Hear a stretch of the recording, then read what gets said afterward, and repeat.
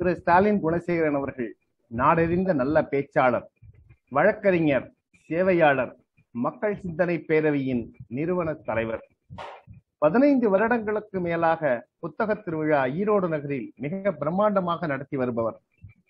பல்வேறு புத்தகங்களின் ஆசிரியரும் கூட சுதந்திர சுடர்கள் மெய்வருத்த குளிதரம் மனிதனுக்கு மரணமில்லை என பல புத்தகங்களின் ஆசிரியர். விடுதலை வேள்வியில் தமிழகம் என்கின்ற ஆய்வு நூலை தொடுத்து விடுதலை வரலாற்றை பதியச் செய்தவர். தேசிய உணர்வுடன் கூடிய பொது உடைமை சிந்தனாவாதி. ஜீவா முழக்கம் இதழில் பொன் விழா மலரை தயாரித்த பெருமையும் இவருக்கு உண்டு. அன்பார்ந்த மாணவர்களே என பல்வேறு கல்லூரிகளில் சொற்பொழிவு ஆற்றி மாணவர்களுக்கு எழுச்சியை ஊட்டி வருபவர். பல்வேறு விருதுகளை பெற்றவர் பழகுவதற்கு இனிய பண்பாளர். அதுதான் இவரது சிறப்பு. ஆம் வாசிப்பதற்கு வசப்பட்டவர். புத்தகம் வாசிப்பது எவ்வளவு பெரிய வரம்? யோசித்து பாருங்கள்.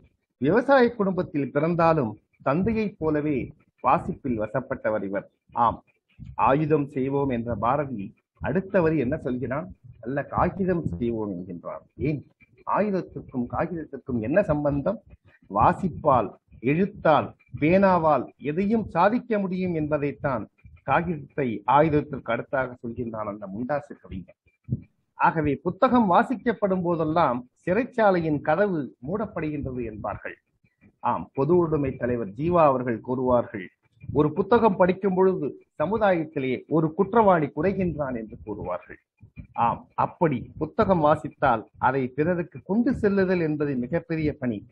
அதையேதான் திரு ஸ்டாலின் குணசேகரன் அவர்கள் தனது கொள்கையாக கொண்டிருக்கின்றார்கள். புத்தகம் வாசிப்பை பற்றியும் புத்தகத்தின் முக்கியத்துவத்தை பற்றி ஒரு சிறு ஒரு நிகழ்வு. நம் நாட்டில் உள்ள இலக்கியங்கள் போல வேற எந்த நாட்டிலும் இருக்கிறது என்று சொல்ல முடியாது. நிச்சயமாக அந்தந்த நாட்டிலே இருந்தாலும் இந்த நாட்டிலே அது ஒரு பொக்கிஷமாக இருந்தது. அப்பொழுது சீன யாத்திரிகர் யுவான் சுவாங் வந்த பொழுது இதற்காகவே வந்து அவன் மதம் மாற்ற வரவில்லை வன்முறை தூண்ட வரவில்லை. இங்கே இருக்கின்ற இலக்கியங்களை கற்க வேண்டும் என்பதற்காக வந்தான். வருடத்துக்கு அவ்வளவு கஷ்டப்பட்டு அந்த காலத்துல வருவது எவ்வளவு கடினம்? எப்படி இல்லாமோ வந்து இங்கு வந்து தங்கி வருடங்கள் தங்கி அதற்காகவே மொழிகள் எல்லாவற்றையும் இங்கிருக்கிற மொழிகள் எல்லாரையும் கற்று இலக்கியங்களில் நல்ல தேர்வு கண்டு அவைகளில் பலவற்றை பிரதியாக எடுத்துக்கொண்டு அவன் ஊருக்கு திரும்பி செல்கிறான். அந்த படகினிலே செல்லும் பொழுது படகு கிட்டக்க வரும்போது அவன் சொல்கிறான் மூட்டை மூட்டையாக இலக்கியங்கள். இதை அடுத்த படகுக்காரன் சொல்கிறான் அதிக கனமாக இருக்கின்றது. ஆகவே இவ்வளவு இருந்தால் படகு ஓடாது தாண்டி அவன் சீனாவிற்கு செல்ல வேண்டும். ஆகவே ஒரு மூட்டையோ ரெண்டு மூட்டையோ இறக்கி விடுங்கள் என்கின்றான். ஆனால் யுவான் சுவாங் சொல்கிறான் ஒரு மூட்டை இரு மூட்டை இறக்க வேண்டாம். நான் இறங்கிக் கொள்கிறேன். இந்த புத்தகங்களை எல்லாத்தையும் நீ அங்கு கொண்டு போய் சேர்த்து விடு. நான் எப்படியோ நீந்தி வருகிறேன் வராமல் போகிறேன். அதை பற்றி கவலை இல்லை. இந்த இலக்கியங்கள் இந்த பொக்கிஷங்கள் நமது நாட்டை சென்றடைய வேண்டும் என்றானாம். இது குன்றக்குடி பொன்னம்பலடிகார்கள் எழுதி இறை என்பவர்கள் அடிக்கடி குறிப்பிடக்கூடிய ஒரு நல்ல வாசிப்பு தகவல். ஆகவே புத்தகம் எவ்வளவு முக்கியத்துவம் என்பதை எதையாவது நெப்போலியன் குதிரையிலே செல்லும் போது புத்தகம் படிப்பான் ஏன் நமது அத்தனை தேச தலைவர்களும் வாபூசி உட்பட பாரதி உட்பட வீர சாவர்கர் உட்பட அத்தனை பேரும் தீவாந்தர திரையிலே இருந்தாலும் தீவாந்தர சிறையிலே அடைபட்டாலும் புத்தகத்தை தான் வாசித்துக் கொண்டார்கள். பகவத்கீதைக்கு மொழிபெயர்ப்பு எழுத அத்தனையும் சிறைச்சாலைகளில் அத்தனை பேரும் அரவிந்தர் உட்பட அத்தனையும் சிறைச்சாலைகளில். ஆகவே புத்தகம் வாசிப்பு என்பது அற்புதமான கலை. பாரதிக்கு பிரசித்தமானது அந்த புத்தகம் வாசிப்பு கலையை தானும் வைத்துக் கொண்டு இளைஞர்களுக்கும் மிக அற்புதமாக செயல்படுத்திக் கொண்டு வரும் திரு. ஸ்டாலின் குணசேகரன் அவர்கள் இந்த பாரதி விழாக்கு மிகவும் பொருத்தமானவர். அவரை திருவள்ளூர் நற்பணி மன்றத்தின் சார்பாகவும் உங்கள் சார்பாகவும் வருக வருக என்று இருகரம் கூப்பி வரவேற்கிறேன் வருக ஐயா வணக்கம் வணக்கம்.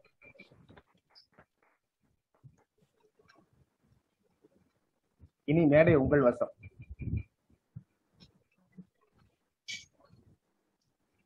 மங்களாபுதூர் திருவள்ளுவர் நற்பணி மன்றம். பல ஆண்டுகளாக மிகச்சிறந்த எழுச்சிகரமான நிகழ்ச்சிகளை தொடர்ந்து இடைவிடாமல் நடத்தி வரக்கூடிய ஒரு அருமையான அமைப்பு. அந்த அமைப்பின் சார்பில் நடைபெறுகிற மகாகவி பாரதி நினைவு நூற்றாண்டு நிகழ்வு. இந்த அருமையான நிகழ்ச்சிக்கு தொடக்கத்தில் வரவேற்புரையாற்றியிருக்கிற இந்த பேரமைப்பினுடைய தலைவர் கவிஞர் பாமா மனோகரன் அவர்களே இந்த நிகழ்ச்சியை தொகுத்து வழங்கிக் கொண்டிருக்கிற அருமைக்குரிய நண்பர் தென்கட்சி கணேசன் முனைவர் பெருந்தகை அவர்களே இந்த நிகழ்ச்சியின் நிறைவாக நன்றி உரையாற்றுவதற்காக இருக்கிற இந்த அமைப்பின் மிக முக்கிய பொறுப்பாளர்கள் ஒருவரும் என் இனிய நண்பருமான ஆடிட்டர் சு. கிருஷ்ணகுமார் அவர்களே இந்த பேரமைப்பினுடைய பிற பொறுப்பாளர்களே நிர்வாகிகளே நண்பர்களே இந்த நிகழ்வில் பங்கேற்றிருக்கிற பெரியோர்களே அனைவருக்கும் நான் காலை வணக்கத்தை மகிழ்ச்சியோடு தெரிவித்துக் கொள்கிறேன். இந்த நாள் இனிய நாள் என்று பல நேரங்களில் நாம் சொல்வது வழக்கம். சில பேருக்கு எல்லா நாளும் இனிய நாள் தான்.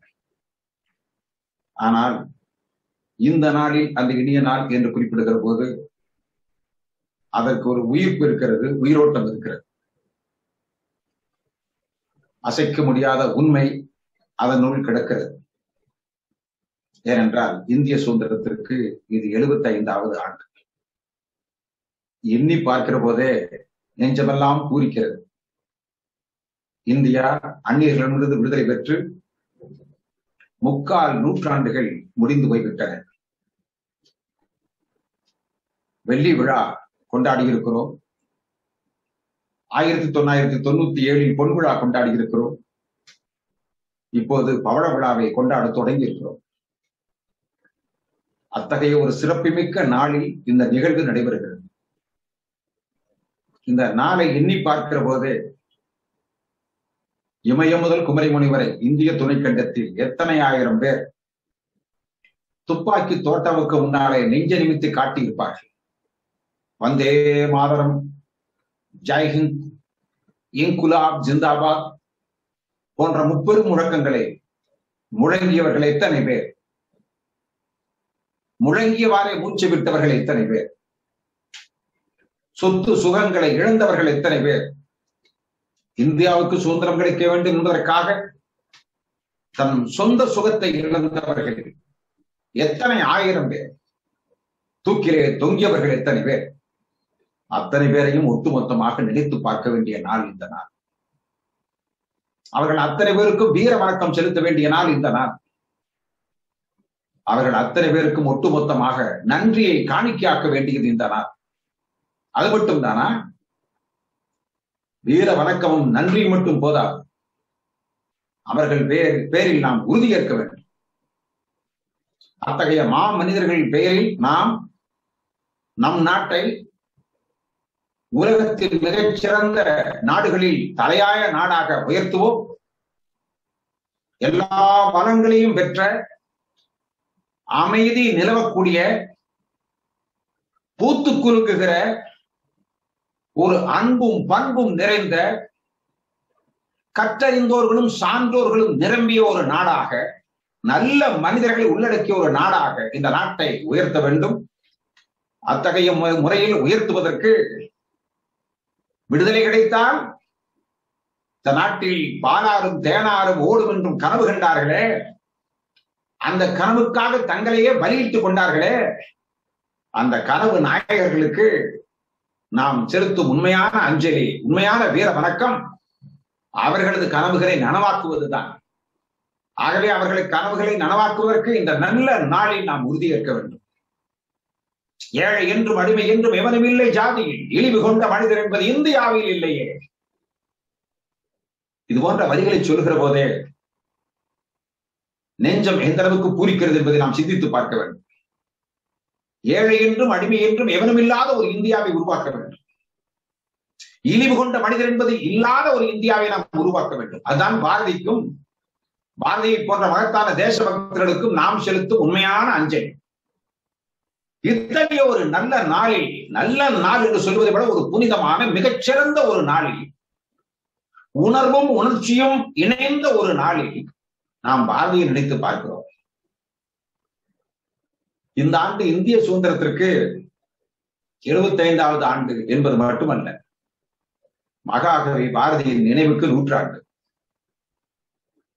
எத்தகைய சிறப்புக்கு சிறப்பு சேர்ப்பது போல இந்த ஆண்டு இருக்கிறது.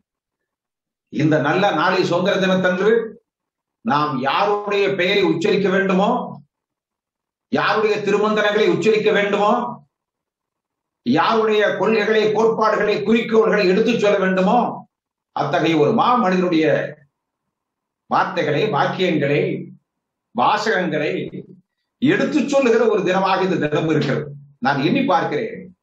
திருவள்ளுவர் நட்பணி மன்றத்தை நான் நெஞ்சார பாராட்டுகிறேன். இந்த நாளை தேர்வு செய்து எம்மை பேச அழைத்திருக்கிறீர்கள் விடுதலை வேள்வியில் தமிழகம் என்ற புத்தகத்தை பதிப்பித்து வெளியிட்டு சரியாக இருபத்தி ஓர் ஆண்டுகள் ஆகின்றன. இந்திய விடுதலை போராட்டத்தில் தமிழகத்தினுடைய பங்கு. நான் எண்ணி பார்க்கிறேன். மகாகவி சுப்பிரமணிய பாரதியார். அவர் பெயரை சொன்னாலே அத்தனை பேரும் மகத்தான கவிஞர் மிகச்சிறந்த கவிஞர். ஒரு தேசபக்தி உள்ள தேசிய கவிஞர். ஒரு எழுச்சிமிக்க கவிஞன் என்பது நமக்கு தெரியும். ஆனால் பாரதி ஒரு கவிஞர் என்ற அடையாளத்தோடு மட்டும் இருந்தவன் தானா என்ற ஒரு கேள்வியை முன்வைத்தால் இல்லவே இல்லை. கவிஞன் என்பதற்கு எந்த அளவுக்கு நாம் முக்கியத்துவம் கொடுக்கவோ வேண்டுமோ அதே அளவுக்கு ஒரு இதழாளர் ஒரு ஜேர்னலிஸ்ட் ஊடகவியலாளர். எண்ணி பார்க்கிறேன். ஆயிரத்தி தொள்ளாயிரத்தி நான்காம் ஆண்டு சேதுபதி உயர்நிலை பள்ளி என்று சொல்லக்கூடிய ஒரு பள்ளிக்கூடத்தில் ஒரு இடைக்கால தமிழாசிரியராக நூறு நாட்கள் பணியாற்றியவன் பாரதி. அப்போது அவர் சரியாக அவனை இனங்கண்டு சென்னைக்கு வரவழைத்து சென்னையில் சுதேசமித்திரன் என்று சொல்லக்கூடிய புகழ்மிக்க இதழ் அந்த இதழின் துணை ஆசிரியராக நியமித்த நன்றிக்குரிய மாமனிதர் ஜி. சுப்பிரமணிய ஐயரை இன்று நாம் நினைத்து பார்க்கிறோம். ஜி. சுப்பிரமணிய ஐயர் ஆயிரத்தி எட்நூத்தி எழுபத்தி எட்டு எண்ணி பார்க்கிறேன்? ஆயிரத்தி எட்நூத்தி எண்பத்தி ஐந்தில் தான் காங்கிரஸ் பேரியக்கம் தோன்றியது. பம்பாய் மாநகரத்தில். ஆட்டோவான் ஹியூம் என்று சொல்லக்கூடிய ஆங்கிலேயர் தலைமையில் ஆயிரத்தி எண்ணூத்தி எழுபத்தி எட்டாம் ஆண்டே இந்து என்று சொல்லக்கூடிய ஆங்கிலேயர்களை கற்றறிந்த வெண்மட்டையில் நாட்டுப்பட்டை உருவாக்க வேண்டும் என்பதற்காக தொடங்கியவன் சி. சுப்பிரமணிய ஐயர். அத்தோடு தன் கடமை முடிந்து விட்டதாக கருதினாரா என்று கேட்டால் இல்லை. கற்றவர்களுக்கு நாட்டுப்பற்றை உண்டாக்க வேண்டும் என்பதோடு சேர்த்து கல்வி அறிவில்லாத பாமர மக்களுக்கும் தமிழ் மட்டுமே படிக்க தெரிந்த தமிழர்களுக்கும் நாட்டுப்பற்றை உருவாக்க வேண்டும் என்றால் தனி இதழ் ஒன்று தொடங்க வேண்டும். அது தமிழில் இருக்க வேண்டும். அது சாதாரண மக்கள் கூட புரிந்து கொள்ளத்தக்க முறையிலே அந்த மொழி நடையிலே இருக்க வேண்டும். தமிழர்களை தட்டி எழுப்ப வேண்டும். ஆங்கிலேய ஆட்சிக்கு எதிரான முறையிலே தமிழர்களை தட்டி எழுப்புவதற்கு ஒரு பேராயுதமாக ஒரு இதழ் வேண்டும் என்று கருதினான் ஜி சுப்பிரமணிய ஐயர் அவர் ஆயிரத்தி எண்ணூத்தி எண்பத்தி ரெண்டில் காங்கிரஸ் பேர் இயக்கம் தோன்றுவதற்கு மூன்று ஆண்டுகளுக்கு முன்பே சுதேசமித்ரன் என்ற இதழை தொடங்கினார். ஹிந்து என்று சொல்லக்கூடிய தேசபக்த இதழும் ஆங்கில இதழும் சுதேசமித்ரன் என்று சொல்லக்கூடிய தமிழ் இதழும் இரண்டுமே வணிக நோக்கில் தொடங்கப்பட்டதல்ல. மாறாக நாட்டுப்பற்றை சமுதாய சிந்தனையை வெள்ளையர்களுக்கு எதிரான ஒரு தேசபக்த உணர்ச்சியை மக்களிடத்தில் உருவாக்க வேண்டும் என்பதற்காகவே தோற்றுவிக்கப்பட்ட மகத்தான இதழ்கள். அத்தகைய இதழ்களை தொடங்கிய ஜி. சுப்பிரமணிய ஐயர் தான் தனது உதவி ஆசிரியர்களாக நல்ல அறிஞர்களை. நீங்கள் ஜி. சுப்பிரமணிய ஐயருடைய உதவி ஆசிரியர்களாக சுரேஷமித்ரன் இதழில் பணியாற்றியவர்கள் ஒவ்வொருவரையும் தனித்தனியாக எடுத்து பார்த்தால் ஒவ்வொருவரும் மகத்தான சான்றோர்களாக தமிழ் அறிஞர்களாக விளங்கினார்கள். அத்தகைய பட்டியலில் சி சுப்பிரமணிய ஐயர் ஜி சுப்பிரமணிய தேர்ந்தெடுக்க அவரால் தேர்ந்தெடுக்கப்பட்டவர் தான் சி சுப்பிரமணிய பாரதியார். ஆயிரத்தி தொள்ளாயிரத்தி நாலில் அந்த பொறுப்பை ஏற்கிறார். ஆயிரத்தி தொள்ளாயிரத்தி ஐந்தாம் ஆண்டும் ஆறாம் ஆண்டும் ஏழாம் ஆண்டும் இந்த மூன்று ஆண்டுகளில் காங்கிரஸ் கட்சியினுடைய அகில இந்திய மாநாடுகளில் பங்கேற்கிற வாய்ப்பினை பெறுகிறார் பாரதியார். நான் எண்ணி பார்க்கிறேன் பாரதியாருடைய தொடக்க கால குருநாதராக விளங்கிய ஊடகவியலுக்கு குருநாதர் மட்டுமல்ல நாட்டுப்பற்றுக்கும் குருநாதராக விளங்கிய ஜி. சுப்பிரமணிய ஐயர் காங்கிரஸ் பேரியக்கம் ஆயிரத்தி எண்ணூத்தி எண்பத்தி ஐந்தாம் ஆண்டு தொடங்கப்பட்ட போது முதல் தீர்மானத்தை அந்த மாநாட்டிலே முன்மொழிந்து பேசியவர். அந்த மாநாட்டிலே பங்கேற்கிற வாய்ப்பினை பெற்றவர் ஜி. சுப்பிரமணிய ஐயர்.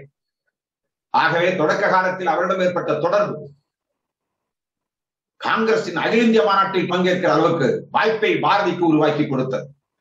ஆகவே காந்தி மகாகவி பாரதி ஒரு அமைப்பாளனாகவும் அமைப்புக்குள் செயல்படக்கூடியவனாகவும் விளங்கி இருக்கிறார் காங்கிரஸ் மாநாட்டில் சூரத் மாநாட்டிலே கலந்து கொண்ட போது கடைசியாக ஆயிரத்தி தொள்ளாயிரத்தி ஏழாம் ஆண்டு அந்த சூரத் மாநாடு காங்கிரஸ் கட்சி மாநாடுகளிலேயே ஒரு மைல் கல்லாக விளங்கிய மாநாடு. திலகர் பெருமானை ஆதரித்து பாரதியார் எடுத்த நடவடிக்கைகள் இதெல்லாம் அரசியல் நடவடிக்கைகள். வெறும் கவிஞன் என்பதையும் தாண்டி ஆழமாக அவரை பற்றியான கட்டுரைகளை ஆய்வு கட்டுரைகளை வாசிக்க தொடங்கினால் எந்த அளவுக்கான நாட்டுப்பற்று மிக்க மகத்தான சிந்தனையாளனாக பாரதி இருந்திருக்கிறார் என்பதை நம்மால் உணர்ந்து கொள்ள முடிகிறது. ஆகவே சூரத் மாநாட்டுக்கு சென்று திரும்பிய பிறகு அந்த மாநாட்டில் நடைபெற்ற அனுபவத்தை எல்லாம் ஒரு நீண்ட கட்டுரையாக எழுதி ஒரு புதிய புத்தகமாகவே வெளியிட்டவர் வரலாற்று ஆசிரியராக விளங்கியவர். அந்த புத்தகம் மட்டும் தமிழில் வெளிவராமல் இருந்திருந்தால் சூரத் மாநாட்டுடைய அத்தனை நடவடிக்கைகளையும் தமிழர்கள் புரிந்து கொள்ள முடியாமல் போயிடும். ஆகவே ஒரு அரசியல் உணர்வாக பாரதியார் ஒரு அரசியல் உணர்வு.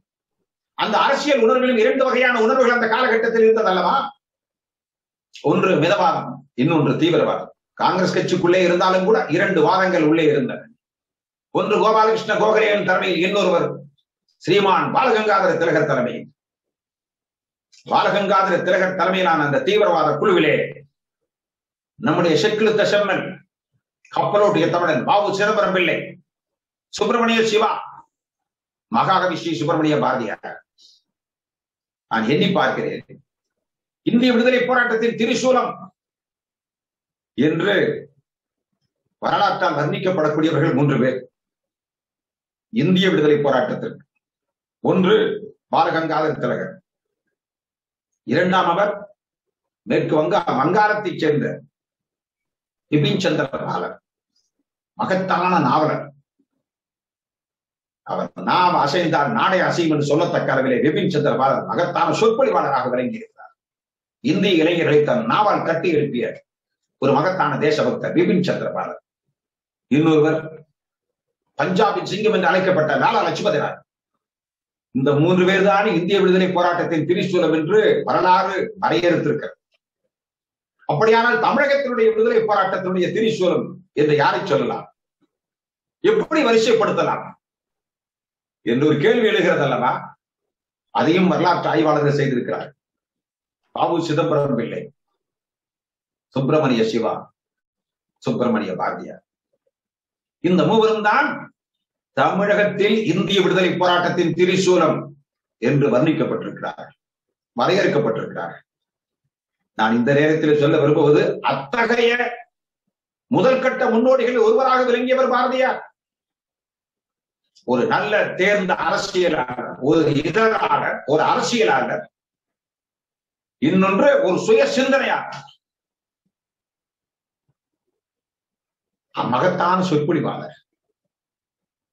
அவர் மிகச்சிறந்த சொற்பொழிவாளராக விளங்கி இருக்கிறார் நண்பர் சோ சேதுபதி அவர்கள் சொற்பொழிவாளர் பாரதி என்று சொல்லி தனியான ஒரு புத்தகமே எழுதியிருக்கிறார். இந்த மூவருமே நல்ல சொற்பொழிவாளர்கள் தான். பாவுசியும் சுப்பிரமணிய சிவாவும் சுப்பிரமணிய பாரதி தனித்தனியாக எடுத்தவர்களை பற்றி ஆழமாக ஆராய்ச்சி செய்து பார்த்தால் சிறந்த சொற்பொழிவாளர்களாக மூன்று பேரும் விளங்கி இருக்கிறார்கள் அந்த சொற்பொழிவு கலையை அக்காலத்தில் தமிழர்களை ஆங்கிலேய ஆட்சிக்கு எதிரான முறையில் அந்த அக்கிரமமான ஆட்சிக்கு எதிரான முறையிலே தட்டி எழுப்புவதற்காக அவர்கள் பயன்படுத்தி இருக்கிறார்கள் நான் பேனா இரண்டு உலகை ஆளும் என்று சொல்லுவார்கள் இந்த இரண்டு ஆளுமைகளையும் கொண்டவர்கள் இவர்கள். அதில் குறிப்பிட தகுந்தவர் ஸ்ரீ சுப்பிரமணிய பாரதியார். நான் இந்த இடத்திலே இன்னொரு கருத்தை சொல்ல விரும்புகின்றேன். நான் உட்கார்ந்து பேசிக் கொண்டிருக்கின்ற இந்த ஈரோடு மாநகரம் இந்த இடத்தில் தானே ஆயிரத்தி தொள்ளாயிரத்தி இருபத்தி ஒன்றாம் ஆண்டு.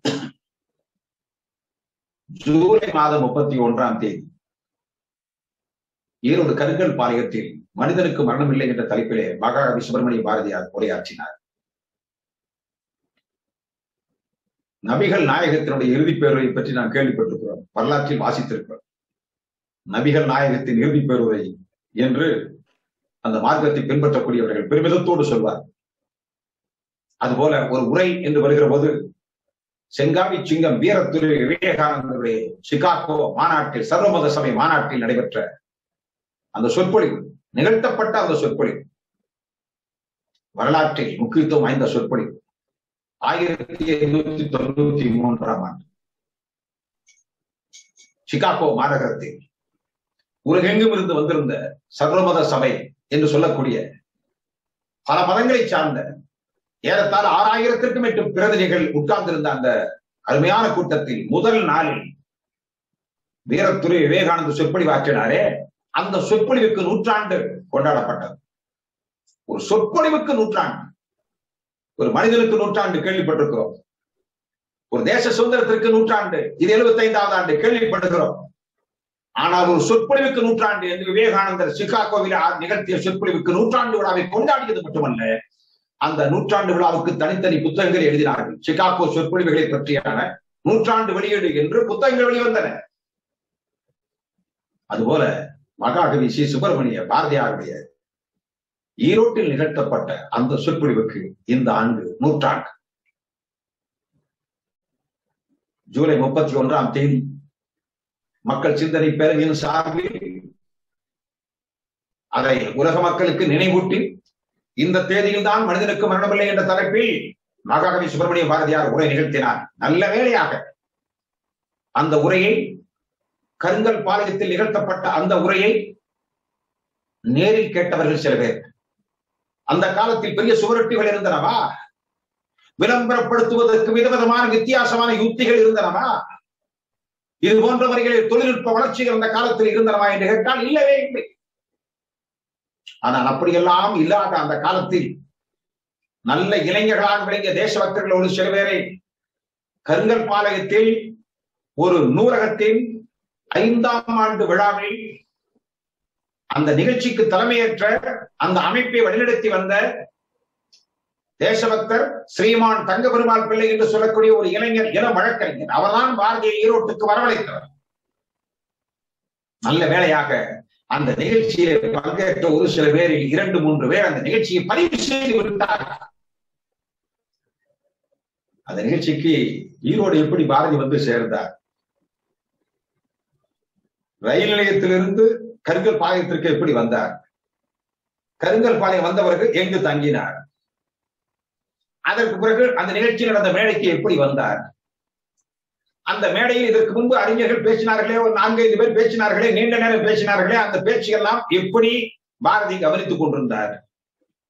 அந்த பேச்சின் போது பாரதியின் முக பாவனை எப்படி இருந்தது? அதற்கு பிறகு அடுத்தது பாரதி பேசுவார் என்று அறிவிக்கப்பட்டவர்கள் எப்படி வந்து நின்றார்? இந்த சிங்கவனை வந்து நின்ற அந்த தோற்றம். அதற்கு பிறகு உரையாற்றிய தொடங்கிய போது அந்த தொடக்கத்தில் அவர் பாடிய பாட்டு அந்த பாட்டு அந்த அவையில் ஏற்படுத்திய பரவசம். அதற்கு பிறகு அவர் ஆற்றிய உரை மனிதனுக்கு மரணமில்லை என்ற தலைப்பிலே ஆற்றிய உரை நல்ல வேளையாக கீழே உட்கார்ந்து முன் வரிசையில் உட்கார்ந்து அதை உற்று கவனித்துக் கொண்டிருந்தவர்களில் ஒருவர் நல்ல எழுத்தாளராக மகத்தான கவிஞராக மிகச்சிறந்த கலைஞராக எதிர்காலத்திலே வளர்ச்சி பெற்றவர். இளைஞராக அந்த காலத்திலே இருந்திருக்கிறார். உன்னிப்பாக கவனித்தவர் அத்தனையும் திரும்ப திரும்ப நினைவுக்கு கொண்டு வந்து அந்த நாள் நிகழ்வை ஒரு திரைப்படம் பார்ப்பது போல் பதிவு செய்திருக்கிறார். அவர் மட்டும் அவ்வாறு பதிவு செய்யாமல் ஒரு கட்டுரையில் அழகான முறையிலே அற்புதமான முறையிலே பதிவு செய்யாமல் இருந்திருந்தால் இப்ப பாரதி ஈரோட்டுக்கு வந்தது மட்டுமல்ல வந்து எந்த அளவுக்கு அந்த நிகழ்ச்சி என்ன என்னால் பேசி இருக்க முடியாது. ஏனென்றால் வரலாற்று பதிவாகி இருக்க இன்றைய செய்தி நாளை வரலாறு என்கிறோமே அது போல ஒரு மகத்தான வரலாறாகிவிட்டது அந்த வரலாற்றை முதல் முதலில் பதிவு செய்தவர் சாத்துசு யோகியா. அவரும் புகழ்மிக்க தேசபக்தர். சாத்துசு யோகியார் தான் ஒரு நீண்ட கட்டுரை எழுதியிருக்கிறார். நான் இந்த இடத்துல குறிப்பிட விரும்புவது அந்த உரையை நிகழ்த்திய பிறகு விடைபெற்று சென்னை மாநகரத்திற்கு சென்றாரே பாரதியார். சென்ற பிறகு எங்கேனும் உரை நிகழ்த்தினாரா? இதுவரை நூற்றுக்கணக்கான ஆய்வுகள் வெளிவந்துவிட்டன. பாரதியாரை பற்றி நுட்பமான ஆய்வுகள் கூட வெளிவந்திருக்கின்றன. ஆனால் ஈரோட்டில் அவர் ஆட்சி உரைதான் இறுதி பேருரை என்றுதான் நிறுவப்பட்டிருக்கிறது அதற்கு பிறகு அவர் உரை நிகழ்த்தவில்லை. சென்னைக்கு சென்றவர் உரை நிகழ்த்துகிற வாய்ப்பினை பெறவில்லை. அதற்கு பதிலாக உடல்நிலை சரியில்லாமல் இருந்தார் சுகவீனம் அடைந்திருந்தார். அதற்கு பிறகு வேறு எந்த இடத்திலும் உரை நிகழ்த்தவில்லை கடைசியில். சரியாக நாற்பத்தி இரண்டு நாள் இடைவெளியில் அதற்கு பிறகு மரணம் அடைந்தார் ஈரோடு வந்துவிட்டு சென்ற பிறகு நாற்பத்தி இரண்டு நாட்கள் மட்டும்தான் அவர் உயிரோடு இருந்திருக்கிறார். ஈரோட்டில் அவர் பேசிய தேதி ஜூலை முப்பத்தி ஒன்று. அவர் மரணம் அடைந்தது நமக்கு தெரியும். செப்டம்பர் பதினொன்று நள்ளிரவு வெளியில் காலை செப்டம்பர் பனிரெண்டு. நான் எண்ணி பார்க்கிறேன். இந்த இடத்தில் ஒரு கருத்தை நான் பதிவு செய்ய வேண்டும். ஏனென்றால் வரலாற்றை எப்போதும் நாம் துல்லியமாக புரிந்து கொள்வது மிகவும் முக்கியமானது. யானை மதித்து பாரதி இறந்து விட்டார் என்று சின்னஞ்சிறு வயதில் நான் இருந்த காலத்தில் பலரும் பேசிய நான் கேட்டிருக்கிறேன். என் புத்தகங்களில் கூட அச்சிட்டு வெளிப்பட வெளியிடப்பட்டிருப்பதை கூட நாம் பார்த்திருக்கிறோம். வாசிக்கிற வாய்ப்பை சின்ன வயதிலே பெற்றிருக்கிறோம்.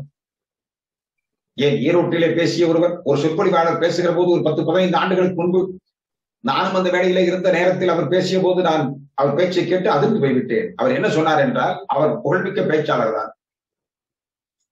முறையாக தமிழ் படித்தவர் தான். அவரை சொல்லி குற்றவில்லை. ஏனென்றால் வரலாறு பல சமயங்களில் துல்லியமாக பதிவாகாமல் இருக்கிற சமயத்தில் இத்தகைய பிரச்சனைகள் ஏற்படத்தான் செய்யும்.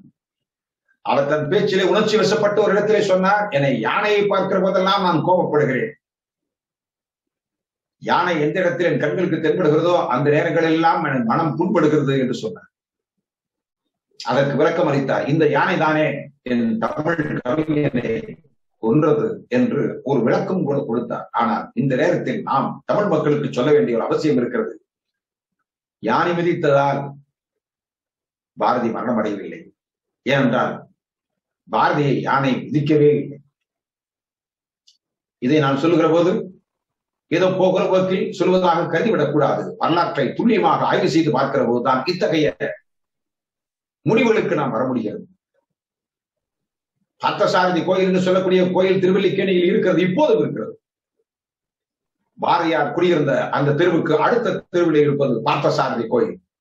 அந்த கோயிலில் இருந்ததும் அந்த கோயிலில் ஒரு யானை கட்டப்பட்டிருந்ததும் அந்த யானையோடு பாரதி அன்றாடம் சென்று பழமும் தேங்காயும் கொடுத்து பழகியது. அந்த யானையை தன் சகோதரனை போல பாவித்ததும் சில நேரங்களில் யானையை துதுக்கி நீவி கொடுக்கிற அளவுக்கு அந்த யானையின் பழக்கத்தை மேம்படுத்தி கொண்டதும் உண்மைதான். கொஞ்ச கால இடைவெளிக்கு பிறகு ஒரு நாள் அந்த யானையை பார்ப்பதற்காக தேங்காய் பழங்களோடு சென்றதும் உண்மைதான். அப்படி சென்றபோது நூற்றுக்கணக்கான பேர் அந்த ஆலயத்தில் இருந்து அந்த காட்சியை பார்த்துக் கொண்டிருந்தார்கள். அப்ப அந்த நேரத்திலே இந்த தேங்காய் பழத்தை கொடுத்த போது அந்த துதுக்கியில வழக்கமாக பெற்றுக் கொள்கிற அந்த யானை பாரதியும் தள்ளி விட்டு விட்டது. அந்த கையிலே கொடுத்த பழம் தேங்காய் அத்தனையும் தட்டி விட்டு விட்டது. துதுக்கையால் தள்ளி போட்டு விட்டது. தள்ளி போட்ட வேகத்தில் என்ன ஆயிற்று என்றால் பாரதி யானையுடைய நான்கு கால்கள் இருக்கின்றன அல்லவா நல்ல வேளை அந்த கால்கள் சங்கிலியால் கட்டப்பட்டிருக்கின்றன. அந்த கால்களுக்கு நடுவிலே கிடத்தப்பட்டான் யானையார் அவ்வளவுதான். நடந்தது இவ்வளவுதான். அதற்கு பிறகு அத்தனை பேரும் பரிதவிக்கிறார்கள் பார்த்தவர்கள் அத்தனை பேரும். ஏனென்றால் அந்த யானைக்கு மதம் பிடித்து விட்டது. அந்த காரணத்தால் தான் நட்போடு இருந்த யானை திடீரென்று பகை பாராட்டி நல்ல வேலை அதற்கு பிறகு எங்கோ இந்த விஷயத்தை கேள்விப்பட்ட கோலை கண்ணன் ஓடோடி வந்தான். வினாடி கணக்கிலே ஓடி வந்தான். எட்டி குதித்தான். உள்ளே சென்று பாரதியை அப்படியே தரதரம் என்று வெளியே எடுத்து வந்து விட்டான். யானை மிதிக்கவில்லை. மிதித்திருந்தால் என்ன ஆவன் பாரதி ஒரு நொஞ்சான் மாதிரி. கோட்டை கழட்டி விட்டால் சட்டையை கழட்டி விட்டால் எலும்பும் தோளுமாக இருப்பவன் பாரதி என்று எத்தனையோ பேர் நேரில் பார்த்தவர்கள் பதிவு செய்திருக்கிறார் ஆகவே அந்த யானை துதிக்கையால் தள்ளிவிட்டு விட்டது. அந்த தள்ளிவிட்ட வேகத்தை பாரதி உள்ளே நான்கு கால்களுக்கு நடுவிலே போய் மாட்டிக்கொண்டார் குவரைக்கண்ணன் காப்பாற்றினான். ராயப்பேட்டா மருத்துவமனைக்கு ஸ்ரீ சீனிவாசாச்சாரியம் குவரைக்கண்ணனும் எடுத்து சென்றார்கள். காப்பாற்றப்பட்டார் சிகிச்சை அளிக்கப்பட்டது குணமாகிவிட்டார். அதற்கு பிறகு ஏறத்தாழ எட்டரை மாத காலங்களுக்கு மேல் வாழ்ந்திருக்கிறார் பாரதியார் வாழ்ந்தது மட்டுமல்ல திருவண்ணாமலையில் நடைபெற்ற அருமையான பொதுக்கூட்டம். அந்த பொதுக்கூட்டத்திலே இந்தியாவின் எதிர்கால நிலை என்ற தலைப்பிலே பேசியிருக்கிறார். அந்த பேச்சை பற்றி எப்படி இருந்தது என்பதை பலரும் பதிவு செய்திருக்கிறார். பார்த்தவர்கள் பரவசத்தோடு பதிவு செய்திருக்கிறார். இதெல்லாம் இந்த எட்டரை மாத கால இடைவெளியில் தான். யானை மிதித்ததாக சொல்லப்படுகிற அந்த சம்பவத்திற்கு பிறகுதான் இதெல்லாம் தேதி வாரியாக வரிசையாக ஆய்வாளர்கள் சொல்லி இருக்கிறார்கள் எல்லாவற்றை விட மிக முக்கியமான சம்பவம் கடலூரில் பாரதியாரை வரவேற்பதற்காக வந்தவர்கள் நூற்றுக்கணக்கான பேர். பாரதியாருடைய கூட்டத்தை கேட்டவர்கள் எத்தனை பேர் என்று பதிவாகி இருக்கிறது தெரியுமா? ஐயாயிரம் பேர். அந்த கூட்டத்திலே சிம்ம கர்ஜனை புரிந்திருக்கிறார் பாரதியார். மிக அற்புதமான முறையில் இதெல்லாம் ஈரோடு கூட்டத்திற்கு முன்பு. அதே போல அந்த எட்டரை மாத காலத்தில் எழுதி குவித்திருக்கிறார் பாரதியார். எல்லாவற்றையும் விட முக்கியமான ஒரு செய்தி என்னவென்றால் ஏனென்றால் தெளிவாக்கப்படும் என்பதற்காக சொல்லப்படுகிறது முக்கியமான செய்தி என்னவென்றால் கோவில் யானை என்ற ஒரு சிறுகதை ஒரு நாடகம் வடிவலான ஒரு சிறுகதை எழுதியிருக்கிறார் பாரதியார். இதை சமீபத்திலே கண்டுபிடித்த ஆய்வாளர் யார் என்றால் பேராசிரியர் யா மணிக மணிகண்டன். கோவில் யானை இதுதான் மிக முக்கியமான ஆதாரம். அந்த கோவில் யானை என்று சொல்லக்கூடிய அந்த நாடக வடிவிலான ஒரு கதை இதை ஆயிரத்தி தொள்ளாயிரத்தி இருபத்தி ஒன்று ஜனவரி மாதம் ஒன்றாம் தேதி வெளியான சுதேசமித்ரன் அனுபந்தம் என்ற அந்த காலத்தில் சொல்வார்கள் இணைப்பு.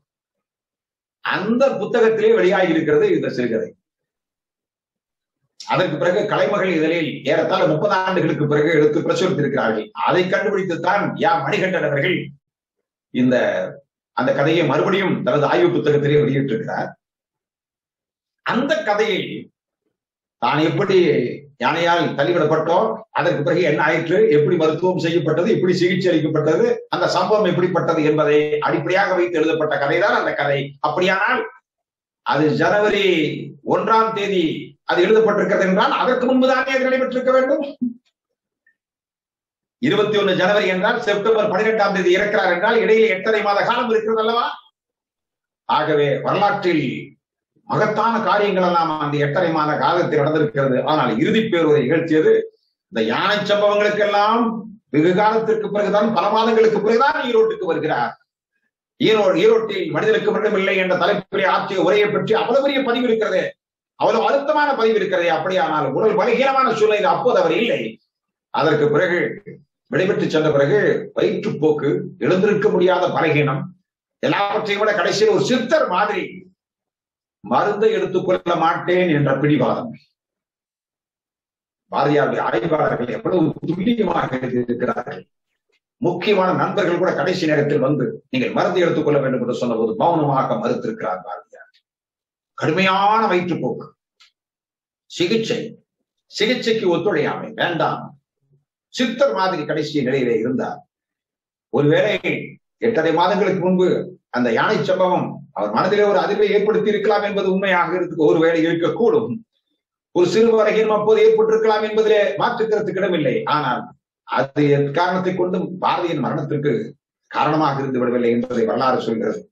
நான் இந்த நேரத்தில் சொல்ல விரும்புவது இதையெல்லாம் விட மிக முக்கியமான செய்தி. ஆயிரத்தி தொள்ளாயிரத்தி இருபத்தி எட்டாம் ஆண்டு பாரதி மறைந்த பிறகு ஒரு ஆறு ஏழு ஆண்டுகளுக்கு பிறகு இருபத்தி ஒன்னில் மறைகிறார். இருபத்தி எட்டில் ஒரு நிகழ்வு நடக்கிறது. மிக முக்கியமான ஒரு நிகழ்வு. அதுதான் சைமன் கமிஷனே. வெளியே போ. Go back Simon. என்ற ஒரு இந்தியா பூராவில் வெளியீருக்கு எதிரான வெகுண்டெழுந்த போராட்டம். சைமன் கமிஷனுக்கு எதிரான ஒரு பெரிய யுத்தம் மக்கள் யுத்தம். அந்த காலகட்டத்தில் தான் இந்த சம்பவம் நடந்தது. பர்மாவில் பாரதியாருடைய கவிதைகளை தடை செய்து விட்டார்கள். அரசாங்கம் பர்மா அரசாங்கம். தடை செய்து அங்க இருக்கக்கூடிய கெசட் அரசியல் இருக்கிறது அல்லவா? அதில் அந்த செய்தியை வெளியிட்டு விட்டார். பாரதியாருடைய கவிதைகள் தடை செய்யப்பட்டுள்ளன. அது அந்த நாட்டில் பர்மாவிலே தடை செய்தார்கள். அந்த நாட்டின் அரசியலிலே வெளியிட்டார்கள். இருபத்தி எட்டு அப்போது சென்னை மாகாணம் மெட்ராஸ் பிரசிடென்சி அந்த சென்னை மாகாண அரசாங்கம் இவர்கள் என்ன செய்தார்கள் என்றால் சென்ட் ஜார்ஜ் கோட்டையில இருந்து வெளியாகிற இந்த சென்னை மாகாண அரசிதழில் இந்த பர்மா அரசாங்கம் தடை செய்தது அல்லவா? அதை வெளியிட்டிருக்கிறார்கள். இந்த கசட்ல இவர்களே அதை வெளியிட்டார்கள். இன்று வரை வெளிச்சம் பாருங்கள். அதை வெளியிட்டார். வெளியிட்ட பிறகு அந்த உள்துறை அமைச்சர் இந்த உள்துறை ஆய்வாளர் காவல்துறை உளவாளிகள் சம்பந்தப்பட்ட அந்த துறையை சார்ந்த ஒரு பெரிய அதிகாரி இந்த மாகாண மேஜிஸ்ட்ரேட்டிடம் சென்று இவ்வாறு அரசியலில் வெளியாகி இருக்கிறது அது பர்மாவில் தடை. அங்கு அரசியல் வெளியிட்டார்கள் அதையே அடுத்து இங்கு வெளியிட்டிருக்கிறார்கள்.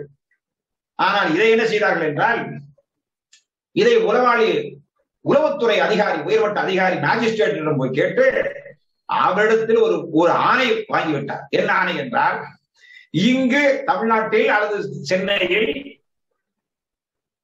இந்த மாகாணத்தில் பாரதியாருடைய கவிதை புத்தகங்கள் பாரதியாருடைய படைப்புகள் எதுவாக இருந்தாலும் அது பறிமுதல் செய்யப்பட வேண்டும். ஆச்சரியமாக இருக்கிறது. சம்பந்தம் இல்லாமல் தான் இருக்கும். ஆனால் இதுதான் சரித்திரம்.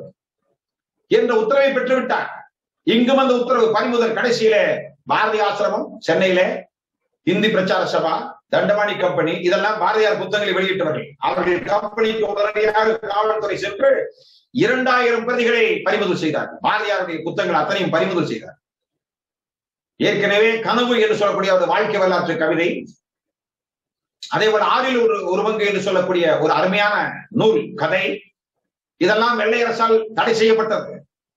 ஆறில் ஒரு பங்கு என்று சொல்லக்கூடிய பாரதியாருடைய அந்த கதை வெறும் பதினாறு பக்கங்கள் கொண்டதுதான் சிறுகதை. இந்தியாவிலேயே ஒரு சிறுகதைக்காக தடை செய்யப்பட்டது விடுதலை போராட்ட காலத்தில் ஆங்கிலேயர் தடை செய்தது முதல் முறையாக பாரதியாருடைய கதையைத்தான். ஏனென்றால் வெள்ளையன் வெளியேற்றப்பட்ட எழுபத்தி ஐந்தாவது ஆண்டில் இந்த கருத்தை நான் பதிவு செய்ய விரும்புகிறேன். இந்தியாவிலேயே இதை நான் சொல்லவில்லை. பல ஆய்வாளர்கள் பல கட்டத்தில் ஆய்வு செய்து சொல்லி இருக்கிறார்கள் இதற்கு முன்பு பிரேம்சந்த் என்று சொல்லக்கூடிய வடநாட்டைச் சேர்ந்த ஒரு அருமையான படைப்பாளி இருக்கிறார். அவரது படைப்பு ஒரு படைப்பு கண்டிக்கப்பட்டது. இதே போன்ற ஒரு கதை. வெள்ளை அரசால் அவரை அழைத்து நேரடியாக அதை கண்டித்தார்கள். பிரேம்சந்தை கண்டித்தார்கள். இப்படியான நீங்கள் க- கதைகள் எழுதக்கூடாது. அதற்கு பிறகு அவருக்கு புத்தகங்களை எல்லாம் வாங்கி சென்றார்கள். ஆனால் எந்த தடை உத்தரவும் இல்லை. இந்த புத்தகம் தடை செய்யப்பட்டு என்று சொல்லக்கூடிய தடை உத்தரவு அதுக்கு இல்லை. அதற்கு அடுத்தது இந்தியாவிலேயே பாரதியாருடைய ஆறில் ஒரு பங்கு. ஆறில் ஒரு பங்கு என்றால் ஆறில் ஒரு பங்கு ஜனத்தொகை மக்கள் தொகை இந்தியாவிலே தாழ்த்தப்பட்டவர்கள். அந்த தாழ்த்தப்பட்டவர்களை மனதிலே வைத்து எழுதப்பட்ட கதை அந்த கதை. அந்த கதை ஓட்டத்தில் அந்த கதை நீரோட்டத்திலே உள்ளே ஆங்கிலேயர்களை பற்றியான சில அம்சங்கள் வெளி வருகின்றன. ஆகவே இது ராஜத்வேஷமான படைப்பு. ஆகவே தடை செய்கிறோம் என்று அதிகாரப்பூர்வமாக தடை செய்தார்கள் அதே மாதிரி கனவு என்று சொல்லக்கூடிய வாழ்க்கை வரலாற்று புத்தகத்தை தடை செய்தார்கள் எவ்வளவு பெரிய மா மனிதனாக பாரதி இருந்திருக்கிறார். நம்மை காட்டிலும் வெள்ளையன் ஆங்கிலேயன் அத்தனையும் பாரதியை பற்றி தொடக்க காலத்திலேயே புரிந்து கொண்டிருக்கிறான் அல்லவா? எவ்வளவு ஆபத்தானவன் ஆங்கிலேய ஆட்சிக்கு என்று ஆகவே தானே தடை செய்திருக்கிறார். நான் சொல்வது ஆயிரத்தி தொள்ளாயிரத்தி இருபத்தி எட்டில்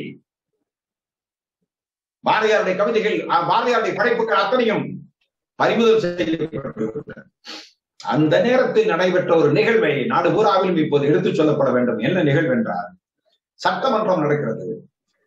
அந்த சட்டமன்றத்திலே சத்தியமூர்த்தி நாவலர் சத்தியமூர்த்தி அவர்தான் ஒரு கவன ஈர்ப்பு பிரேரணை ஒன்று ஒரு தீர்மானத்தை முன்மொழிகிறார். பாரதியாருடைய படைப்புகள் பறிமுதல் செய்யப்பட்டிருக்கின்றன. அவை பற்றி விவாதிப்பதற்கு ஒரு நாள் ஒதுக்கப்பட வேண்டும் என்று உரையாற்றுகிறார். அடுத்த நாள் அதற்கான வாய்ப்பளிக்கப்படுகிறது அது விவாதிப்பதற்காக எடுத்துக்கொண்டார்கள் சட்டமன்றத்தில்.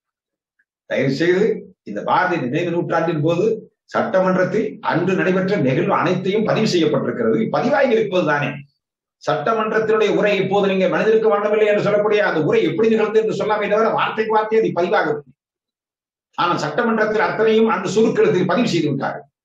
அத்தனையும் பதிவாகி கிடப்பது தானே இப்போது நினைத்தால் கூட போய் எடுத்து பார்க்கலாம் அல்லவா? ஆகவே ஆய்வாளர்கள் அதை எடுத்து போட்டிருக்கிறார்கள். அப்போது மதியம் இரண்டரை மணியிலிருந்து மூணு மணி வரை நாலு சத்தியமூர்த்தி ஒரு உரை நிகழ்த்தி இருக்கிறார் சட்டமன்றத்தில். பாரதியுடைய புத்தகங்களை பறிமுதல் செய்வதை கண்டித்து அந்த பறிமுதல் செய்யப்பட்டது தவறு அரசாங்கத்தோட நடவடிக்கை தவறு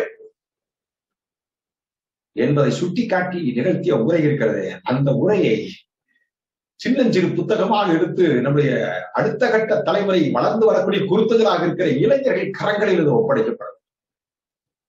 நாவல் சத்தியமூர்த்தியும் தன் நாவால் தமிழ்நாட்டில் இருக்கிற இளைஞர்களை தட்டி எழுப்பியவர் தானே அவரையும் இந்த நேரத்தில் நாம் நினைத்து பார்க்க வேண்டும். என்பார் சுதந்திர தினத்தில் எழுபத்தி ஐந்தாவது ஆண்டு விழாவில் பாரதியை ஒட்டி அவரை இணைத்து நினைத்து பார்க்கிற போது அவர் ஆற்றிய உரை அந்த நீண்ட உரையை நாம் திரும்ப அத்தனையும் சொல்ல முடியாவிட்டாலும் நேரம் கருதி சொல்ல முடியாவிட்டாலும் இரண்டு மூன்று வரிகளை நான் இந்த இடத்திலே சொல்ல விரும்புகிறேன். மகாகவி பாரதி இந்த நேரத்தில் இந்த மா மனிதன் வேறு எங்காவது ஒரு நாட்டில் இங்கிலாந்திலே பிறந்திருந்தால் அவன் அரச கவியாக அங்கீகரிக்கப்பட்டிருப்பான் நீங்கள் பறிமுதல் செய்து விட்டீர்கள். வேண்டுமானால் இன்னும் இருக்கிற புத்தகங்களை தேடி தேடி அத்தனையும் பறிமுதல் செய்யுங்கள். நாங்கள் ஒரு இயக்கத்தை தொடங்க போகிறோம். அது என்ன இயக்கம் என்றால் பாரதியாருடைய கவிதைகள் அத்தனையும் மனநம் செய்யும் இயக்கம்.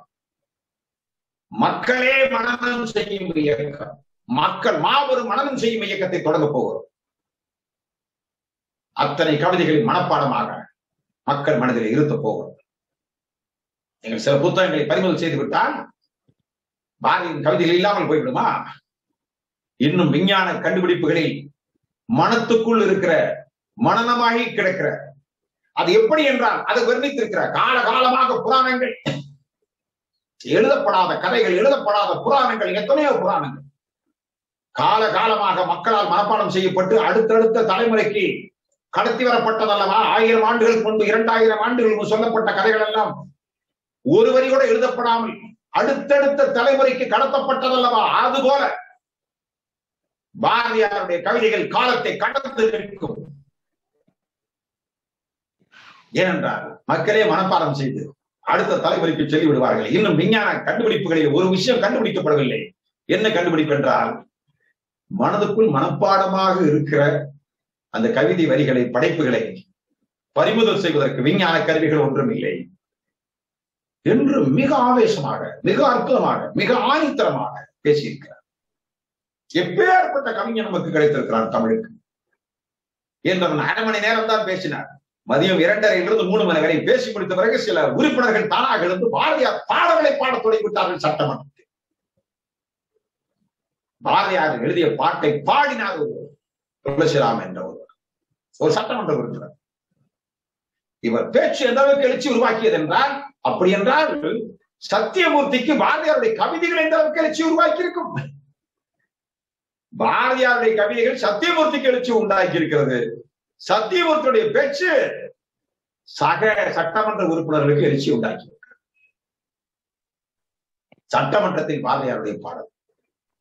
அது செந்தமிழ் நாடு என்னும் போதிலே இன்பத்தேன் வந்து வாயுது காதில்லை என்ற பாட்டை அந்த துளசிராம் சட்டமன்ற உறுப்பினர் இவர் பேசி முடித்தவன் பாடியிருக்கிறார். இன்னொருவர் இருந்து பாரதியாரை பற்றி பேசி இருக்கிறார் இப்படி எல்லாம் பேசி முடித்த பிறகும் கடைசியிலே ராம்நாத் கோயங்கா. தெரியும் நமக்கு பெரிய பத்திரிகை அவரெல்லாம் அப்ப சட்டமன்ற உறுப்பினராக இருந்திருக்கிறார். அவருக்கு தமிழ் தெரியாது. ஆனால் அவரெல்லாம் கூட இதை கேட்டு ஆச்சரியப்பட்டு அதிர்ந்து போய் கடைசியில வாக்கெடுப்பு நடந்திருக்கிறது. இதான் ஆச்சரியம். இதான் செய்தி. இதான் தகவல். இதான் வரலாறு. என்ன வாக்கெடுப்பு? பறிமுதல் செய்தது சரியா தவறா? பறிமுதல் செய்யப்பட்ட புத்தகங்கள் அனைத்தும் திருப்பி கொடுக்கப்பட வேண்டுமா? வேண்டாமா? இதுதான் விவாதம்.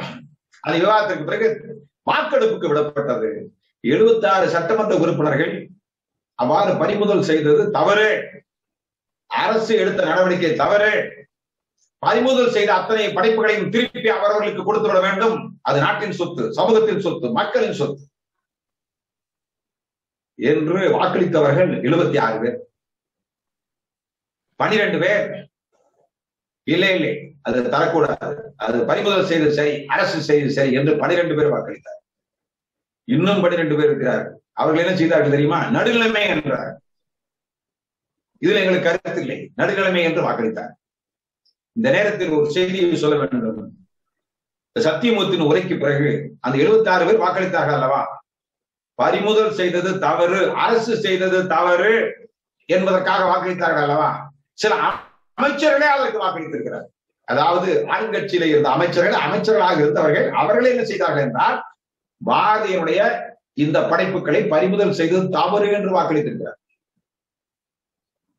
அறிமுதல் செய்த அரசாங்கம் தான். அரசாங்கத்தின் அமைச்சர் தான் அவர். ஆனால் அமைச்சராக இருந்தாலும் பாரதியுடைய படைப்புகளை பறிமுதல் செய்தது தவறு என்று வாக்களிக்கிற ஆண்மை அந்த காலத்தில் இருந்திருக்கிறது.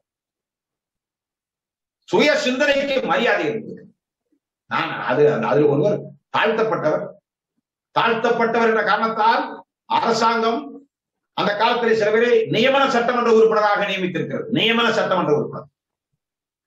அந்த நியமன சட்டமன்ற உறுப்பினராக நியமிக்கப்பட்ட ஒருவர் எழுந்து பேசுகிறார். இப்பேற்பட்ட பெருமிதமான விஷயம். எழுந்து பேசினார் பாருங்க. ஆயிரத்தி தொள்ளாயிரத்தி இருபத்தி எட்டு. என்ன பேசுகிறார்? நான் தாழ்த்தப்பட்ட இனத்திற்காக ஒதுக்கப்பட்ட அந்த சட்டமன்றத்திலே குழு உறுப்பினராக அரசாங்கத்தால் நியமிக்கப்பட்டவர். அரசாங்கத்தின் தயவால் நியமிக்கப்பட்டவர் நான். ஆனால் அப்படி என்றால் என்ன அர்த்தம்? நாளை நினைத்தால் அரசாங்கம் இவர் தூக்கி எறிந்து விடலாம். நியமிக்கப்பட்டவர் தானே. அப்பாயின்மெண்ட் தானே. ஆனால் அப்படி சொல்லியே செய்கிறார். நான் நியமிக்கப்பட்டவன் தான். ஆனாலும் சொல்கிறேன் பாரதியாருடைய அந்த படைப்புகளை பறிமுதல் செய்து அரசாங்கம் பறிமுதல் செய்து மாபெரும் அதை திருப்பி கொடுக்க வேண்டும். இப்பேற்பட்ட படைப்பாளி அந்த படைப்பாளி என்று பாரதியை புகழ்ந்து பேசி தன்னுடைய பதவி போனாலும் பரவாயில்லை. பாரதியுடைய படைப்புகள் நிற்க வேண்டும் என்று நினைத்தாரே அதை இந்த நேரத்திலாவது நினைத்து பார்க்க வேண்டாமா? ஆயிரத்தி தொள்ளாயிரத்தி இருபத்தி எட்டு நான் எண்ணி பார்க்கிறேன். கடைசியிலே என்ன ஆயிற்று? பாரதியினுடைய இந்த படைப்புகளை எல்லாம் இவ்வாறு பறிமுதல் செய்து தவறு என்று ஒரு உயர் நீதிமன்றத்திலே வழக்கு போட்டிருந்தார்கள்.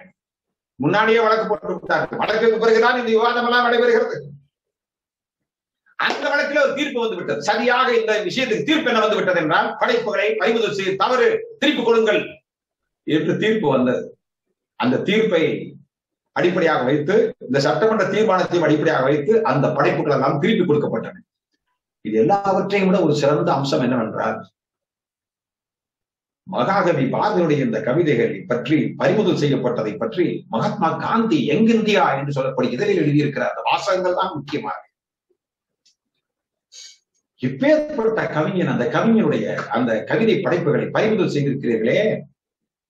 நீங்கள் செய்த பாவத்துக்கு பிராயச்சித்தம் என்ன? உடனடி பிராயச்சித்தம். அந்த புத்தகங்கள் அத்தனையும் திருப்பி கொடுக்க வேண்டும் என்பதுதான்.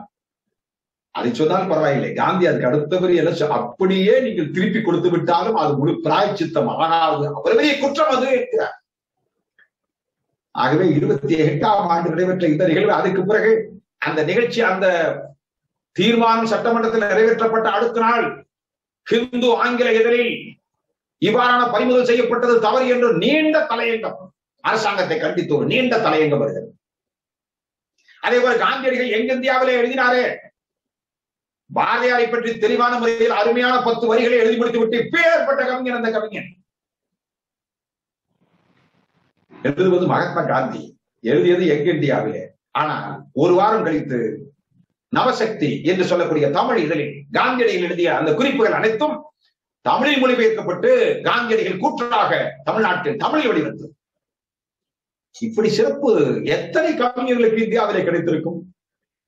அது உலக அளவிலே எத்தனை கவிஞர் இது இது மாதிரி நான் ஒன்றைத்தான் சொல்லி இருக்கிறேன் ஓர் ஆயிரம் பேருக்கு இந்த மாதிரியான விஷயம். அவன் எத்தனை ஆண்டுகள் வாழ்ந்தான்? முப்பத்தி ஒன்பது ஆண்டு காலம் மட்டும் தானே வாழ்ந்தான். அதற்கு ஆயிரத்தி தொள்ளாயிரத்தி நாலில் இருந்து தானே அவனது பொது வாழ்வு அரசியல் வாழ்வு தொடங்குகிறது. ஆயிரத்தி தொள்ளாயிரத்தி நாலில். அதிலும் பத்தாண்டுகள் பாண்டிச்சேரியில இருந்தாரே ஆயிரத்தி தொள்ளாயிரத்தி எட்டு இருந்து பதினெட்டு வரை பாண்டிச்சேரியில இருந்தார் அந்த பாண்டிச்சேரியில் இருந்த பத்து ஆண்டுகள் புதுச்சேரியில் இருந்த பத்து ஆண்டுகள் எப்பேற்பட்ட ஆண்டுகள் இங்கிருந்து விடைபெற்று எட்டாம் ஆண்டு செல்கிற போது வீரனாக சென்றார். பத்தாண்டுகளில் பாண்டிச்சேரியில் இருந்து திரும்பி வருகிற போது ஞானியாக வந்தான். எழுதியிருக்கிறார். வீரனாக சென்றவன் ஞானியாக திரும்பினான். அருமை பெரியோர்களே அந்த பத்தாண்டுகள் பாண்டிச்சேரியிலே வாழ்ந்த காலம் இருக்கிறதே. எத்தனை நாட்கள் பட்டினியோடு பரிதவித்தான் பாருங்க. எண்ணி பார்க்கிறோம். ஆழமாக எண்ணி பார்க்க வேண்டிய காலகட்டத்தில் நாம் இருக்கிறோம். பட்டினியால் பரிதவித்தார். அது மட்டுமல்ல ஒற்றர்கள் அதாவது மனச்சிதைவடைய தலைக்காரர்களே பாரதிக்கு மனச்சிதைவை உண்டாக்கினார். ஒரு மகா கவிஞனுக்கு மனச்சிதைவை உண்டாக்கி இருக்கிறார்கள் ஏனென்றால் இங்கு திரும்பினால் ஒற்றன் அங்கு திரும்பினால் ஒற்றன். அங்கு எங்கிருந்து பணம் வந்தாலும் அந்த பணம் பறிமுதல் செய்யப்பட்டது. தபால் ஆபீஸ் ஆபீஸ்ல இருந்து பாரதிக்கு பணம் வருமானால் எங்கிருந்தாவது பணம் வருமானால் அந்த பணம் தடை செய்யப்பட்டது. வருகிற வரவு எங்குமிருந்தும் வரவு வர முடியாது. பாரதிக்கு சம்பளமாக வரக்கூடிய சன்மானத்தை கூட வாங்குவதற்கு வழி இல்லை. அத்தனையும் அங்கு பறிமுதல் செய்யப்படுது. என்ன செய்கிறார்கள்? ஒரு இடத்தில் அவனை நிற்க வைக்கிறார்கள். அசைக்க முடியாது செய்ய வைக்கிறார்கள். வளைய வைக்கிறார்கள். ஆனால் எங்கும் வளையவில்லை. பாரதி பட்டினிக்கு வளையவில்லை. ஒற்றர்கள் தொந்தரவு. ஏதோ ஒரு ஒற்றன் வந்தான் இரண்டு ஒற்றன் வந்தான் ஒரு உறவாரி வந்தான் என்ற வரலாறு. நான் இந்த அருமையான இடத்துல சொல்ல விரும்புகின்றேன். அரவிந்தர் பாகேஷ் ஐயர் மகாகவி பாரதி இவர்களெல்லாம் பாண்டிச்சேரியில் இருந்தவர்கள். இந்திய எல்லைக்குள்ளே இருந்து பிரெஞ்சு ஏகாதிபத்தியத்தினுடைய கீழே இயங்கிய பாண்டிச்சேரியில் இருந்தவர்கள். ஆனால் இந்த பிரான்ஸ் நாட்டுக்கும் பிரிட்டிஷ் நாட்டுக்கும் பிரிட்டிஷ் யூகே யுனைடெட் கிங்டம்ஸ் என்று சொல்லக்கூடிய அந்த காலத்தில் இருந்த இங்கிலாந்து அதற்கும் பகை இருந்தது முதலிலே. ஒரு கட்டத்தில் அவர்கள் இருவருக்கும் அவர் உறவு நேச நாடுகள் ஆனார்கள். அதற்கு பிறகு என்ன செய்தார்கள் என்றால் இந்த மூன்று நான்கு பேரை மட்டும் மனதில் வைத்துக் கொண்டு இந்தியாவில் இருக்கிற பிரிட்டிஷ் ஏகாதிபத்தியம் அல்லது பிரிட்டிஷ் இந்தியா பாண்டிச்சேரியில ஒரு போலீஸ் ஸ்டேஷனை காவல் நிலையத்தை தொடங்க வேண்டும் என்று பிரான்சிடம் விண்ணப்பம் போட்டு தொடங்கினார்கள். பாரதிக்காக. எண்ணி பாருங்க பாரதிக்காக. பாரதி பாவேஸ்வரியர் அரவிந்தன் இந்த மூன்று பேரும் இருந்தார்கள் களத்தில் நின்ற மிகப்பெரிய வீரன் பாரதி. களத்தில் நின்றவன். வெறும் கவிதையில் நின்றவன் அல்ல. ஆகவே அவனை கண்காணிப்பதற்கான முறையிலே பெரிய உளவாளி கூட்டத்தை ஏற்பாடு செய்தார்கள். காவல் நிலையத்தை தொடங்கினார்கள். பிரெஞ்சினுடைய அரசாங்கத்துடைய ஆதரவோடு காவல் நிலையத்தை தொடங்கினார் பாரதியா வினாடி தோறும் கண்காணிக்கப்பட்டான். அவன் கடைக்கு சென்று பண்ண முடியாது. எங்கு பார்த்தாலும் உளவாளிகள். பால் கொண்டு வந்து கொடுப்பவன் உறவாளி எல்லோரையும் சந்தேகப்பட்டு ஒரு மனிதன் எப்படி வாழ முடியும்? அப்படி கடைசியிலே சில ஆண்டுகள் அப்படி வாழ்ந்தான். கடைசியிலே எப்படியாவது வழிக்கு கொண்டு வர வேண்டும் என்பதுதான் அவர்கள் திட்டம். ஆனால் அந்த திட்டம் இருந்த காலத்திலே தானே குயில் பாட்டு என்ற பாடல் பாஞ்சாலி சபதம் என்ற மகத்தான பா கவி கவிதை கவிதை என்றால் மிகப்பெரிய காப்பியம். இதையெல்லாம் எங்கு எழுதினான்? பாண்டிச்சேரியில் தானே எழுதினான். பாக- பாரதிதாசன் நான் எண்ணி பாரதியை நினைக்கிற போதெல்லாம் நான் பாரதிதாசனை மறந்துவிடக்கூடாது பாரதிதாசன் பாரதியை பற்றி சொன்னது போல் இதுவரை யாரும் சொல்லவில்லை. நான் நூற்றுக்கணக்கான அருமையான ஆய்வாளர்கள் இப்போது நாம் நினைத்து பார்க்க வேண்டிய ஒரு மனிதர் யார் என்றால் என்னை பொறுத்தளவிலே சீனி விஸ்வநாதன் அவர் ஏறத்தாழ பன்னிரண்டு பதிமூன்று தொகுதிகள் பாரதியுடைய காலவரிசைப்படுத்தப்பட்ட படைப்புகள் என்று தன் வாழ்நாளில் ஒரு ஐம்பது அறுபது ஆண்டு காலம் இப்போது இப்போதும் உயிரோடு சென்னையில இருந்து கொண்டிருக்கிறார் மக்கள் சிந்தனை பேரவையின் சார்பில் கூட மூன்று நான்கு ஆண்டுகளுக்கு முன்பாக ஒரு பாரதி விருது வழங்குவதற்கான வாய்ப்பு எங்களுக்கு கிடைத்தது. எங்கள் வாழ்நாளில் ஒரு நல்ல வாய்ப்பு. பாரதி விருது வழங்குவதற்கு. அந்த விருதுக்காக ஒரு ஏழ்மையான வாழ்க்கையை வாழக்கூடியவர் தான் சி. விஸ்வநாதன் அந்த விருதுக்காக மேடையில கொடுக்கப்பட்ட அந்த விருது தொகை இருபத்தி ஐயாயிரத்தை கூட இல்லை இல்லை நான் இதை பெற மாட்டேன் என்று திருப்பி கொடுத்து விட்டு சென்ற வறுமையில் வாழக்கூடிய ஒரு மனிதர்.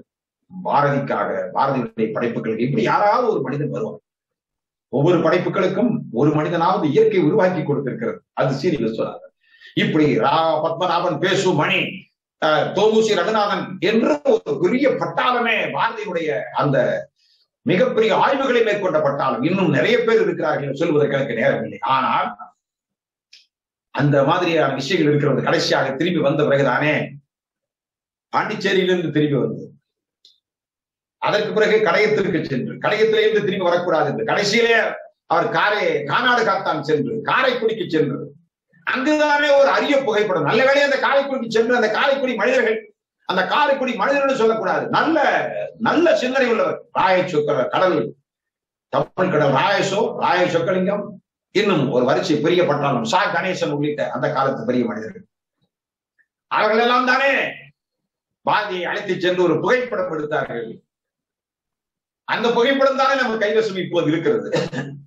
இதெல்லாம் பிற்காலத்திலே கடைசி காலகட்டத்திலே நடைபெற்றிருக்கிறது. பதினெட்டுக்கு பிறகு கடையம் வந்த பிறகு நடைபெற்ற நிகழ்ச்சிகள் ஏராளம்.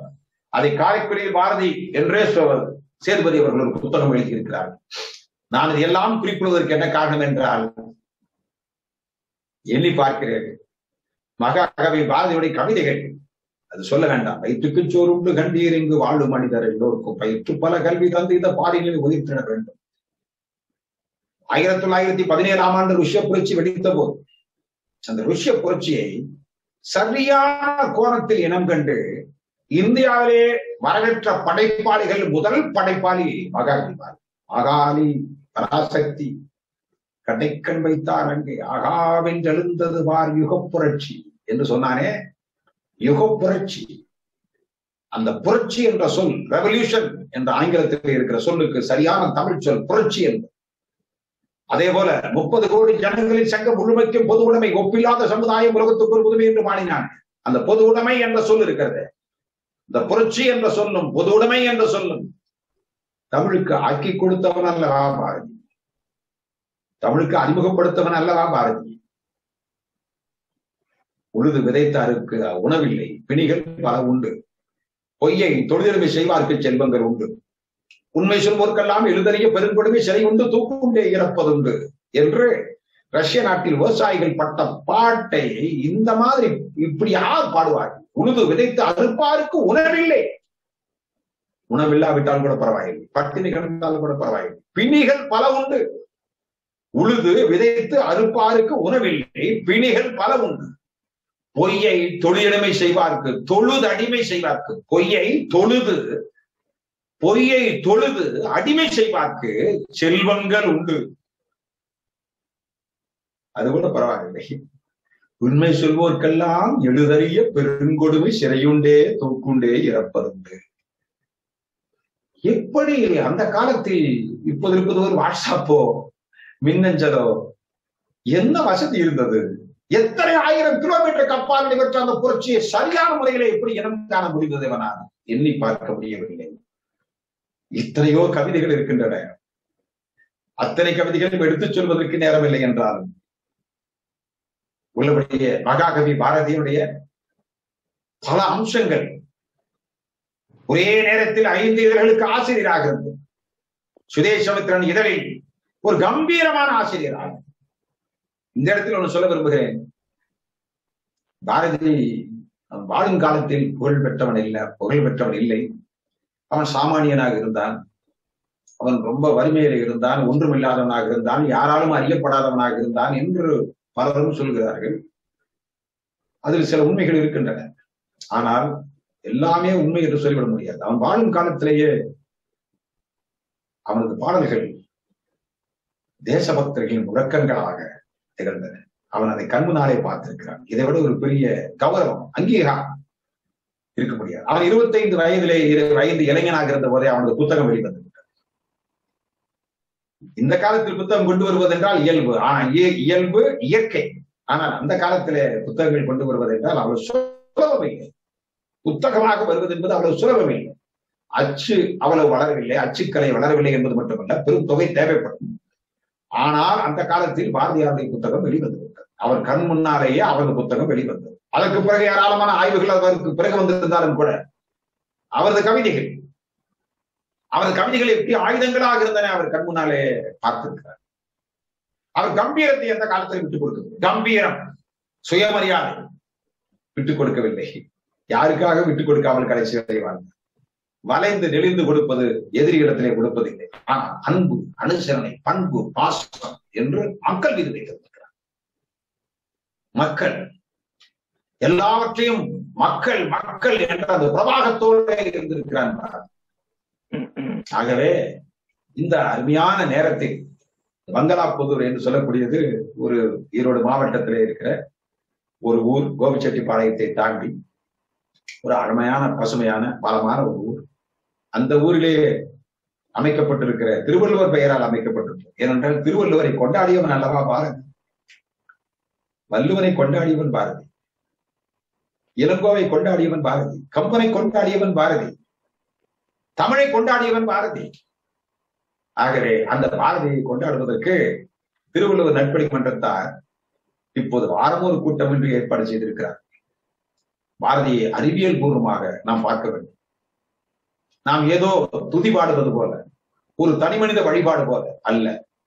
அதற்கு பதிலாக அந்த படைப்பு எப்படி காலத்தை வென்று நிற்கிறது என்பதை நாம் பார்க்க வேண்டும். இந்த இடத்தில்தான் மு. மேத்தா ஒரு கவிதை அதுவும் தொடக்க காலத்தில் அவரது கவிதை பயணத்தின் தொடக்க காலத்தில். அவரது முதல் புத்தகம் வெளிவந்தது அல்லவா? கண்ணீர் பூக்கள். அந்த காலகட்டத்தில எழுதியிருக்கிற ஒரு கவிதை தான் எனக்கு நினைவுக்கு வருது. என்ன கவிதை என்றால் கொட்டும் மழையினில் வெட்ட வெளிதலில் குடும்பம் நடத்துகின்ற எங்கள் பட்டினி தோழரை கட்டி அணைத்திட பாரதி வந்திருந்தார். பாரதி எதற்காக வந்தார் என்றால் கொட்டும் மழையினில் வெட்ட வெளிதலில் குடும்பம் நடத்துகின்ற எங்கள் பட்டினி தோழரை கட்டி அணைத்திட பாரதி வந்திருந்தார். அது மட்டும்தான் வந்தானா? நாட்டு விடுதலை கேட்டு கிளம்பிட நல்ல படை அமைத்தான். ஒரு பாட்டு திறத்தினால் வையத்தை காத்திடும் பாதை தெரிந்தெடுத்தான். பணக்கோட்டை தகர்த்திடும் வேட்டு கவிதைகள் கொண்டு வந்தே கொடுத்தான் அவன் மூட்டிய தீ இங்கு மூண்டது மா மாண்டது மூடச் சடலங்களே என்று கவிஞர் மு. மேத்தா அந்த கவிதையை முடித்தார். இந்த பாரதியின் கம்பீரத்தை பாரதியின் வீரியத்தை பாரதியின் விஸ்வரூபத்தை இந்த கவிதையிலே உள்ளடக்கி இருப்பார் கவிஞர் மு. மேத்தா. எண்ணி பார்க்கிறேன். மகாகவி பாரதி எல்லாவற்றை பற்றியும் அவன் கவிதையை படிக்கிற அளவுக்கு கட்டுரையும் வாசிக்க வேண்டும். கட்டுரையை வாசிக்கிற அளவுக்கு ஆங்கில கவிதைகள் பல எழுதியிருக்கின்றார் அதையும் வாசிக்க வேண்டும்.